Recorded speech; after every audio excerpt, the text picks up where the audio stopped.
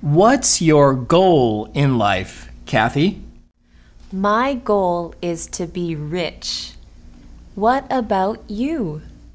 I just want to be happy. What? I think being happy is more important than having all the money in the world.